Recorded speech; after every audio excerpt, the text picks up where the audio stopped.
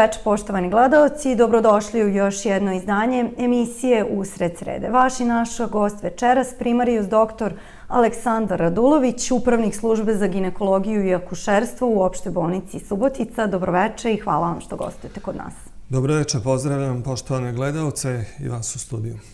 Evo, gledalci možda ne znaju, ali sutra, dakle u četvrtak, otvara se konačno Centar za vantelesnu oplodnju u opštoj bolnici. Pre toga želim da vas pitam, vi ste idejni tvorac ovoga centra. Kako ste uopšte došli na ideju i koliko vam je trebalo godina rada da uopšte dođe do ovoga? To je jedan srećan događaj što će se desiti sada u četvrtak, otvaranje centra za koji smo toliko dugo čekali. To je bio na neki način moj e, san da uradim kako za Suboticu i za bolnicu, tako i za sebe. E, ja sam prvi završio tu subspecializaciju iz oblasti steriliteta i fertiliteta i dobio diplomu u Srbiji i vantelesne oplodnje još 98. godine. I od tada na neki način ide ta ideja za otvaranje centra za, za vantelesnu oplodnju, tako da sam 2001. godine bio na klinici u Gizenu, Justus Liebig univerzitet, gde me bolnica poslala šest meseci za doktorat i za znanje iz praktičnih stvari iz vantelesne oplodnje posle te subspecializacije.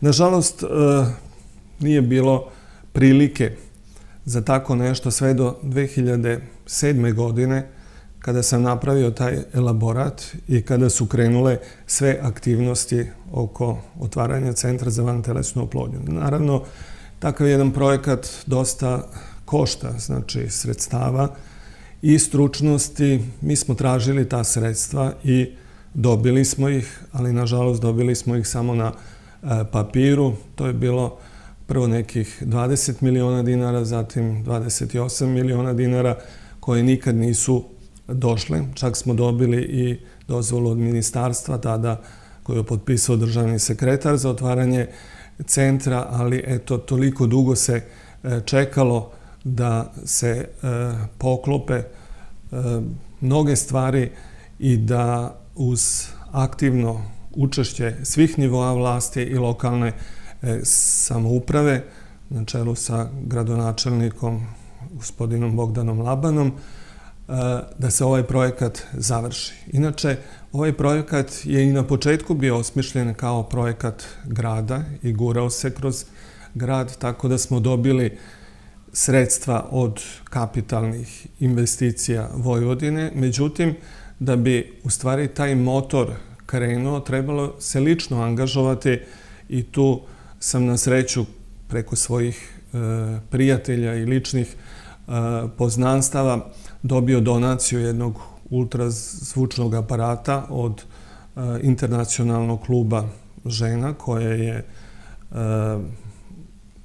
koje je isporučeno ovde u Subotici tadašnja supruga američkog ambasadora gospođa Sara Kirby je uručila taj ultrazvučni aparat i posle na osnovu toga, to je bila inicijacija svega, se krenulo e, za dalje, za sredstva koja su izvojena iz budžeta grada, iz kapitalnih investicija Vojvodine, e, za opremu je išlo od kapitalnih investicija Vojvodine i posle smo dobili još jednu donaciju isto tako privatnim E, vezama od mađarske vlade, to su ta dva inkubatora.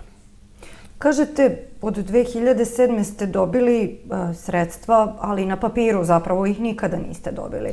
Kada ste prvi put zaista dobili sredstva i kada ste mogli e, da krenete u opremanje i, i rekonstrukciju tog prostora, možda za gledalce, on se nalazi upravo na samom ulazu na u službu za, za ginekologiju i akušerstvo? To je, to je bilo tada kada su krenule ova, ova prva donacija, kada je krenula negde 2015. godine, da bi uh, posle 2016. i 17. godine dobili ova ostala sredstva i, i krenulo se ka uređenju prvog sprata gde se ta, nalazi taj prostor i subspecijalističke ambulante koja je dole u starom delu bolnice. Subspecijalistička ambulanta već radi otprilike e, godinu i po dana. Koja je uloga i zašto je bilo važno otvoriti i ovu ambulantu? Tu ambulantu je bilo važno otvoriti prvo da se krene sa tom problematikom koja je prilično zastupljena kod nas, da se pripreme pacijenti za buduće otvaranje centra za vantelesnu oplodnju i da se na taj način rešavaju problemi e, infertiliteta u ovoj sredini. Znači, mi smo kompletno obuhvatili pacijente u njihovom problemu, diagnostici i pripremu u postojećim državnim i privatnim e, centrima e, koji se finansiraju iz države. To je u stvari, sve te aktivnosti su bile priprema za ovo finaliziranje, otvaranje centra za vantelesnu oplodnju. I naravno za evidentiranje tih pacijenata koje ćemo sada u narednom periodu, kada krenemo sa, sa radom, moći pozivati da urade vantelesnu oplodnju u našem centru u bolnici. Koliko je već parova spremno da, da eto, budu prvi uh, koji će uh, biti vaši pacijenti u centru? Pa to uvek e, fluktuiraju nekih desetak parova s tim što kada se jedan centar uhodava, normalno da se kreće uhodavanje kompletne ekipe, e, zatim postavka e, visoko sofisticirane tehnike, tako da se slučajevi koj, sa kojima se kreće se na početku selektiraju da bi se praktično posle ušlo u rutinu rada i da bi kompletna ekipa bila ovaj, pripremljena da ostvaruje uspeh koji, koji je priznat u svetu i kod nas. Ko čini ekipu u Subotičkom centru? Ekipu čini lekar, subspecijalista iz te oblasti koji ima licencu za rad. Za sada sam ja jedini u toj oblasti. Kolega je na subspecializaciji, on još nije završio, ali treba da završava. Međutim, postoje zakonske kriterijumi koliko čovjek mora da bude u reproduktivnoj medicini, koliko da radi pod kontrolom, koliko ima ciklusa urađenih, da bi na kraju došao do licence. Zatim, tu je embriolog kao jedna karika neizostavna, najbitnija, vrlo bitna uz e, ginekologa koji stimuliše e, ciklus jer oni se brinu e, o embrionima i razvoju embriona i na neki način sa nama se dogovaraju koji ćemo dan vraćati embrione, kako se razvijaju embrioni, I normalno tu su još e, sestre i saradnici koji e, potrebno sve da pripreme, zato što je to jedan prilično komplikovan e, postupak i nije postupak koji se svugde radi i zato ga je i to još dodatni napor i motiv da se implementira u nekoj sredini da bi se on mogao raditi. A sad kažete, to nije jednostavan postupak i ne radi se svuda. Eh, zašto je odabrana baš Subotica i eh, šta će ovaj centar doneti i, i samom gradu, ali i građanima? Dakle, gde će pozicionirati i samu ustanovu, dakle, opštu bolnicu, ali i grad? Subotica je u prošlosti imala prilično uspeha u lečenju infertiliteta i diagnostici infertiliteta praktično sve postupke osim vantelesne oplodnje. Tako da je ovo trebalo završiti eh, da zatvorimo jedan krug sa svim mogućnostima koje parovima mogu doneti željenu eh, decu, a i zbog toga su postojali uslovi, a samim tim Subotica zbog svog položaja grada i mogućnosti kompatibilnog e, zdravstvenog i banjskog turizma na Paliću je takođe bio e, pogodan da se to e, navede isto kao jedan značajni razlog koji može da da, da dovede do većeg broja posetioca i, na, i u Suboticu i na Palić.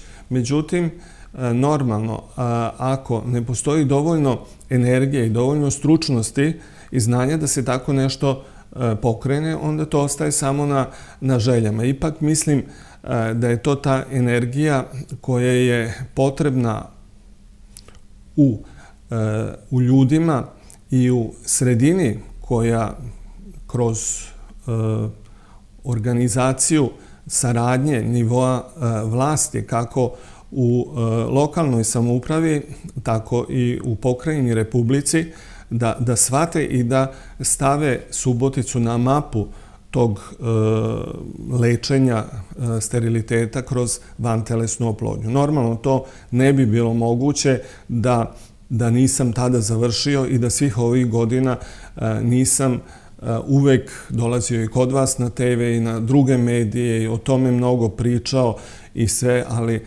nažalost, eto, vidite, potrošeno je mnogo godina. Meni je žao što nismo krenuli pre deset godina, ali je i ovo sada veliki uspeh e, i e, lokalne samouprave i, i, i uprave bolnice e, što smo ovaj, uspeli da, da finaliziramo ceo ovaj projekat. Da li ste imali institucionalnu podršku, dakle, lokalne samouprave, pokrajine?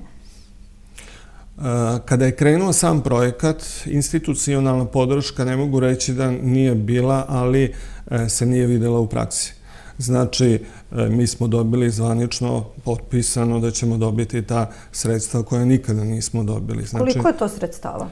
Na početku je bilo 20 miliona dinara, posle 28 je upisano, prebaceno na kapitalne investicije u tom trenutku. Međutim, da bi se jedan ovakav projekat zaokružio, normalno da to nisu dovoljna sredstva, ali ta sredstva tada i nismo uh, dobili.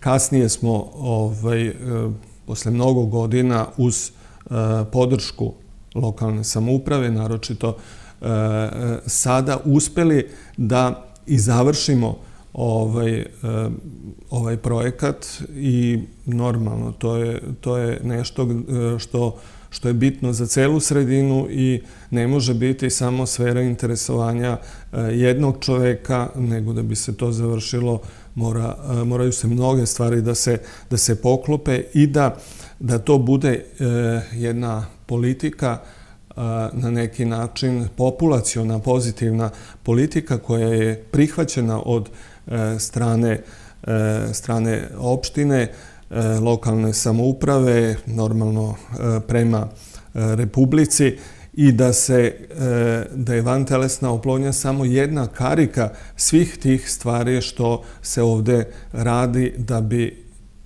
mlađi E, imali svoje potomstvo i da bi ti mlađi ostajali ovde u Subotici, jer znamo da postoji velika migracija stanovništva, da, da se e, praktično e, smanjuje natalitet, znači broj porođaja. Prirodni priraštaj je negativan ovde u Subotici i jedna ovako prepoznata metoda, kažem, vantelesne oplodnje, koja može dati, u praksi kažu, negde do 4 do 6 e, procenata e, više porođaja u nekoj sredini, jer normalno mi očekujemo pacijente kako iz Subotice, tako i iz okoline, ali oni koji su iz Subotice će se ovde porađati i automatski će se povećati broj porođaja koji je pao u poslednjih e, godina, a takođe kroz mere dalje koje su usvojene kroz ovu populacijonu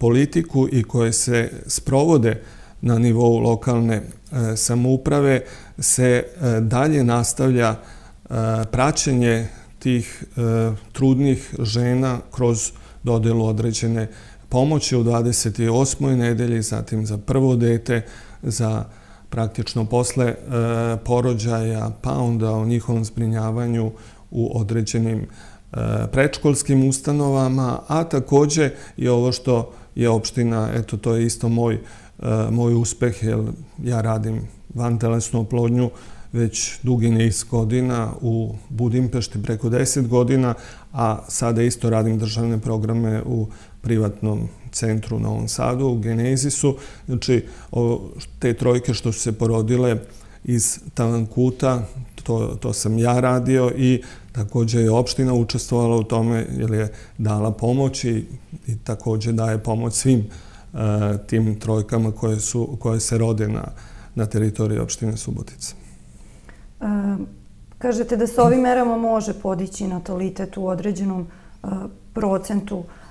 Međutim, da li je primećen porast steriliteta i koji su najčešći uzroci?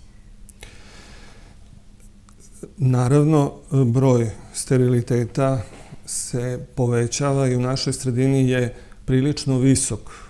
Računamo negde između 15 i 17 procenata i na nivou e, cele Srbije smatra se da svaki e, sedmi par ima problema sa sterilitetom u e, Srbiji i to se povećava naročito e, zadnjih godina kada, se, kada je učešće muškog steriliteta značajno, čak preko 50 e, procenata i normalno tu ide e, stres, način života, alkohol, pušenje, infekcije, e, neredovne kontrole, sve to dovodi do do problema koji se na neki način posle jedino ostaje da se leči van telesnom oplodnjom kao mogućnošću za dobijanje potomstva.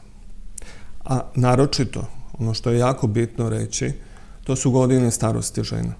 Znači, mnogi se u današnje vreme um, odlučuju na decu u kasnijem životnom dobu, kada već prestaje ta funkcija jajnika ili se smanjuje ili dolazi do oštećenja jajnika sa raznim drugim bolestima i spada ta rezerva jajnika, odnosno reproduktivna sposobnost. To je kako zbog nekih socijalnih razloga, tako da ljudi planiraju ili zbog svoje karijere odlažu rađanje preko 35. čak preko 40. godine kada je već taj prirodni genetski faktor i faktor sredine koji je oštetio taj jajnik značajno smanjuje mogućnost za zatrudnjivanje. Kako će izgledati i zapravo kako izgleda e, sam proces vantelesne oplodnje? E, koliko on traje i e, nakon koliko vremena upućujete parove na ovu proceduru ili to varira od slučaja do slučaja? Ako su mlađi parovi, može se čekati do godinu dana i drugim metodama da se dođe do željenog potomstva. Međutim, ako su stariji preko 35 godina, onda se ne čeka e, duže od 6 meseci, e, napravi se kompletna diagnostika, vidi se šta je problem i da li e, nekim konzervativnim metodama tipa obične stimulacije, praćenja ultrazvučnog ovaj, tempiranih odnosa inseminacije, ako se to ne uspe u vrlo kratkom periodu ili ako je problem na jajovodima, začepljenje jajovodima ili e, ako je sve u redu, a ne dolazi do trudnoće, onda se preporučuje e, vantelesna oplodnja. I normalno, ako su spermatozoidi e, broj ispod nekog nivoa na koji se e, misli da može doći prirodnim putem do trudnoće. Kako vi komentarišete pronatalitetnu politiku, da kažemo, i Republike, i pokrajine, i grada, i uh, pretpostavljam da je vantelesna oplodnja veoma skup proces. E, na kakvu podršku mogu da računaju parovi? Taj proces je skup gledajući sa svih aspekata. Prvo, sa aspekta edukacije ljudi koji treba da rade taj proces, trebaju da budu edukovani i da imaju iskustva, jer jedino kroz to se može postići određeni nivo e, uspeha. Druga stvar, ta tehnika je prilično skupa, a i taj e, posle e, taj potrošni materijal, sredstva sa kojima se radi isto koštaju, tako da u suštini su to prilična sredstva gde je u stvari država preuzela na sebe obavezu finansiranja prvih tri puta van telesne oplodnje žena i na neki način je to isto prihvaćeno i od strane lokalne samouprave i naše opštine koji su sve to implementirali u, u praktično jednu od svojih obaveza da se ta populacijona politika ovde u praksi primenjuje, tako da su uvali četvrto finansiranje od strane opštine, a pokrajina, Skupština pokrajine Vojvodine je usvojila, čak pomjerila granice do 45 godina, tako da je to prihvaćeno i ovde kod nas u lokalnoj Skupštini. Treba da se verifikuje i da kroz tu pomoć građanima da pokuša da se reši taj, taj problem. Normalno to se rešava i kroz druge aspekte izdvajanja za, za, za decu, tako je, ja sam bio čak predsednik te komisije za obolelu decu koja je sada u lokalu su se duplirala ta sredstva koja daje, daje opština lokalna samouprava za finansiranje bolesti kod teško obolele dece.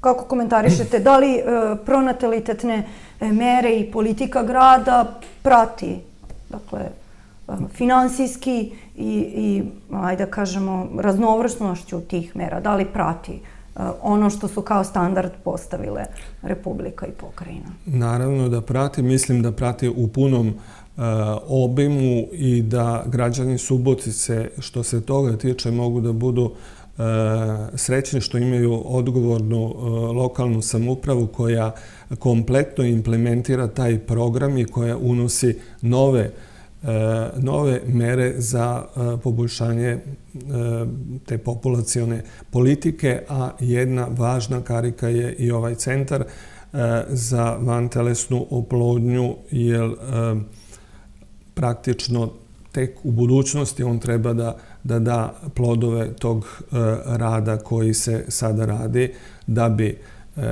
da bi se smanjio ovaj, da bi se smanjili problemi infertiliteta i da bi se povećao natalitet u ovoj sredini i normalno da, da se smanji taj uticaj te bele kuge i toga što mnogo ljudi odlazi i to je ta u stvari praktično zbog socijalnih razloga, ali uglavnom deca i ta mladost, oni su budućnost i Srbije i budućnost našeg grada.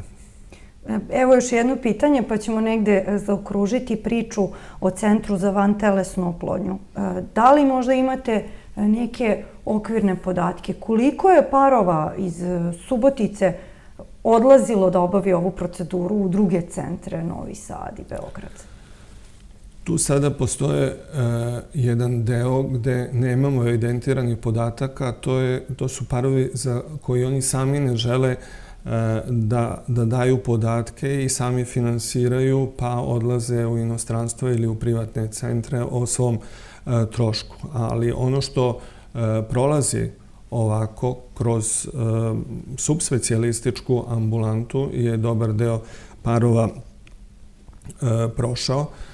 E, verovatno jedan deo i nije, ali ja računam da takvih parova sigurno godišnje u Subotici ima do, do 100 ovaj, ciklusa. Sigurno samo iz Subotice i okoline, a normalno jedan takav centar neće lečiti pacijente samo iz Subotice i on se i ne pravi samo zbog e, građana Subotice, nego će on biti jedan republički centar i bit će na, na mapi centara koji postoje u Evropi jer se tačno zna gde se nalaze u Evropi centri za vantelesnu oplodnju, tako da to ima jedan širi značaj. Tu će dolaziti pacijenti e, i iz državnog programa i iz ostalih delova e, Srbije, a normalno ako e, budemo uspešni, a nadam se da hoćemo i težit ćemo tome, će dolaziti i pacijenti iz inostranstva. Bolnici predstoji kompletna rekonstrukcija. E, nedavno je gostovao u emisiju Sred srede i direktor doktor e, Puškar. Dakle, reč je o zaista velikom, velikom projektu. Bolnica je stara gotovo 50 godina šta će to značiti za službu ginekologije i akušerstva i uh, generalno koliko je ulagano i koliko je ova služba sad već zrela za renoviranje? E, služba za ginekologiju i akušerstvo ima prilično veliku frekvenciju kako pacijenata, tako i kroz e, porođaje i obim rada. I normalno ono što u nekom društvu je na neki način odma slika u stvari stanja jeste ginekologija i dečije odeljenje. Na neki način kroz to kreće e, život kroz ta, ta odeljenja. Tako da e, je na ginekologiju e, uvek ponešto rekonstruisano, ulagano, ali normalno e, zub vremena i tamo je uzeo svoj, e, svoj danak i jednostavno potrebno je e, mnoge delove ginekologije rekonstruisati u smislu operacionih sala, znači nove opreme, operacioni stolovi, operacione lampe, porođajne sale, na neki način e, e, uvesti nove metode e, porođaja koje će sada moguće biti kroz ovu rekonstrukciju rekonstrukciju bolnice da, da se implementiraju neke, neke druge još načine porođaja od do sada primenjivanih koji se koriste u, u svetu, a takođe i praktično uvek potrebna diagnostika e, novih e, ultrazvučnih aparata i, i normalno prostora da bi se, kao i na drugim odeljenjima, e, formirale e, sobe sa najviše dva pacijenta. Mi smo sada ovaj centar za vantelesnu oplodnju koji je pravljen, on je pravljen po evropskim standardima. I kao takav će biti e, praktično u Srbiji jedan ili među nekoliko najmodernijih centara zato što ispunjava sve te kriterijume koji se tek počinju sada kod nas e, primenjivati, a to su e, praktično taj negativni e, pritisak, onda anti, antistatička obrada ploda, praktično princip funkcionisanja i to je ono što, što je već e, sada napravljeno, a čekamo i ostale delove e, bolnice da se, e, da, da se prema svetskim standardima, mislim ostale delove ginekologije, da, da počnu, odnosno da budu rekonstruisani prema nekim svetskim standardima i planovima koji su već napravljeni. Tako da će to biti jako velika stvar i opet, mislim, uspeh i E, bolnice i rukovodstva bolnice i, i, e, i države Republike, što eto i lokalne samuprave, što se i Subotica našla, odnosno Subotička bolnica e, na praktično u planu rekonstrukcije koja će trajati, verovatno krenuti sada negde na proleće, ali na neki način ja, ja sam više fokusiran za ovaj svoj svoj deo e, vezan za vantelesnu oplodnju i normalno e, malo šire na samu ginekologiju i akušerstvo. Kažete da je veliki pritisak na, na službu ginekologije i akušerstva. Koliko vi obavite porođaja godišnje, a, a koliko intervencija? Što se tiče, e, što se tiče porođaja, on je, e, kada sam ja kretao na specializaciju, to je bilo negde e, ovaj, 92. godine broj porođaja je bio 1700-1800 i e, svih tih godina posle se smanjivao broj porođaja, tako da smo mi došli tu negde na cifru od 1300 e, i nešto e, porođaja i normalno sada jeste da je to na neki način frekvencija, ali je mnogo manje u odnosu što je nekad bilo. I to je ta priča o ovom natalitetu i o, tim problemima ove naše sredine što se eto kroz dugi niz godina ne menja broj e, stanovništva u, broj stanovnika u Subotici. E, što se tiče takođe imamo e, veliki broj intervencija i operacija koje se kod nas sprovode Naročito e, bih spomenuo da se, e, da se kod nas e, veliki broj operacija radi endoskopskim putem, što ima tradiciju i što je, što je ostalo tako i na taj način smo sigurno među prvima u Srbiji. Konkretno, recimo, i ja, ja 80% svojih operacija, znači uradim endoskopski, laparaskopski, Eh, od velikih eh, mioma do vađenja kompletno materice i ostalih eh, operacija i to je ta tendencija mikroinvazivne hirurgije koja je na neki način kompatibilna sa vantelesnom oplodnjom u smislu priprema pacijenata. Jer da bi mi uspeli u postupku vantelesne oplodnje, taj pacijent mora dobro da bude pripremljen. Znači, ne sme da ima miome, da se odstrane miomi, e, da se e, smanji ili odstrani takozvane te čokoladne ciste ili druge e, vrste cisti, da se odstrane polipi kroz histeroskopiju. Znači, to sve ide u sklopu pripreme za vantelesnu oplodnju. I baš zbog toga smo mi sa ovim zaokružili kompletno jedan postupak lečenja steriliteta. Govori se dosta o odlasku medicinskih radnika, lekara, medicinskih sestara, tehničara. Kakva je situacija u službi za ginekologiju i akušerstvo u Subotici? E, kako stojite sa, sa stručnim kadrom i, i da li je ovaj problem i kod vas izražen?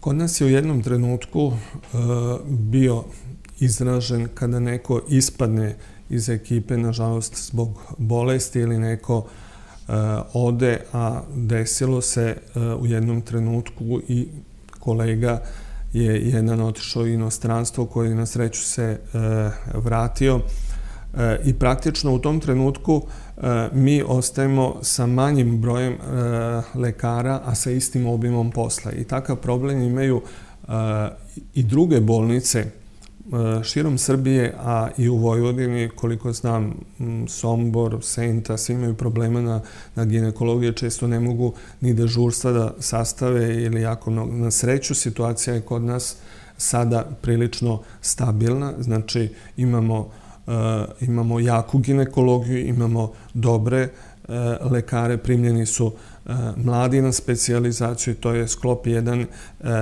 praktično iskustva i mladosti i mislim da upadaju sada u pravom trenutku e, da uče i da na neki način preuzmu na kraju znanje i obavezu i kroz implementaciju ove nove metode koja će se raditi, ja isto mislim, kao što sam ja počeo dovoljno mlad, da i drugi treba da, da se profilišu i da krenu ka, ka znanje, znanje e, praktično u nekim e, godinama kada mogu posle e, da mnogo vremenski više, više daju i da nauče da implementiraju svoj rad u ovu metodu i u rad ginekologije i akušerstva Tako da što se toga tiče nemamo problema, što se tiče sestara postoji stalno e, problem, uvek neko e, ode u inostranstvo, ali na neki način se uspevamo e,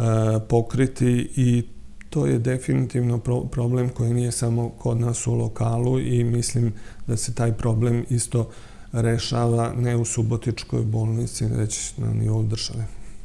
Vratila bih se još jednom na rekonstrukciju. Kažete evropski standardi, standardi.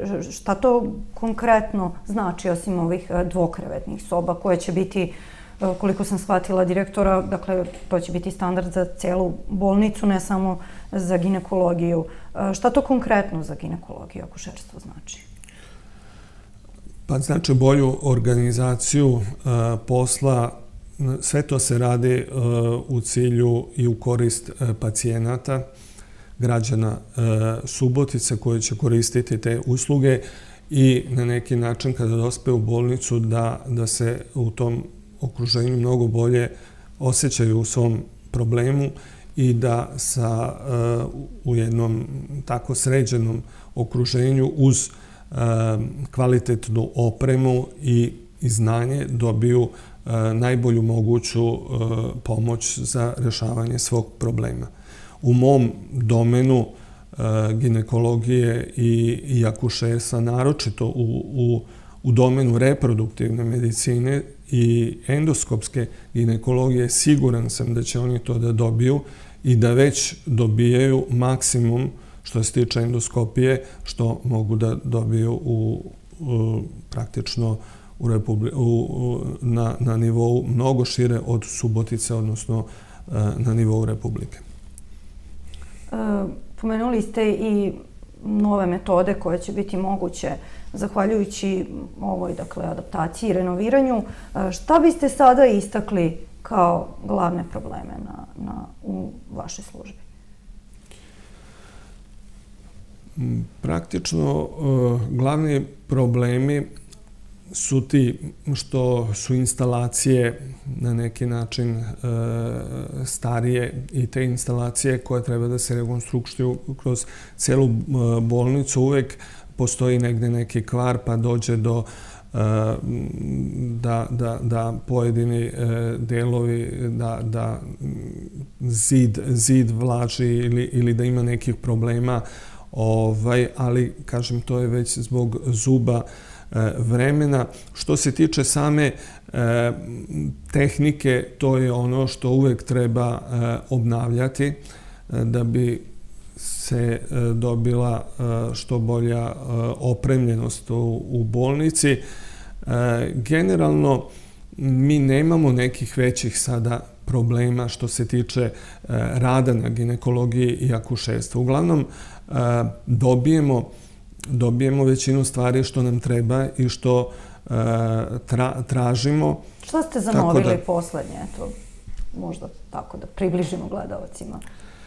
E, poslednje što je, što je e, zanovljeno je praktično ono što sam vam naveo, što je došlo e, taj novi, novi ultrazvučni aparat i e, što su došli delovi za e, endoskopsku ovaj, opremu koji su e, falili i koji su bili na neki način već od, od, upotrebe izrabljeni, tako da možemo raditi te endoskopske operacije. I normalno, redovno smo snabdeveni sa šavnim materijalom, operacije radimo bez prekida, znači nema ono restrikcije u tom smislu i da se ne radi, tako da je to e, na neki način ne osjeća se e, taj možda e, neki ako i nešto nedostaje, to ne mogu osjetiti pacijenti u datom trenutku.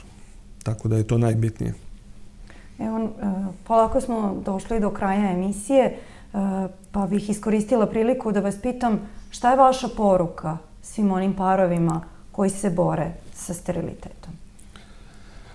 Moja poruka jeste da e, svoj problem rešavaju, da se skoncentrišu na svoj problem, da ne gube nadu, da se obrate na pravo mesto, da bi došli do svog željenog cilja.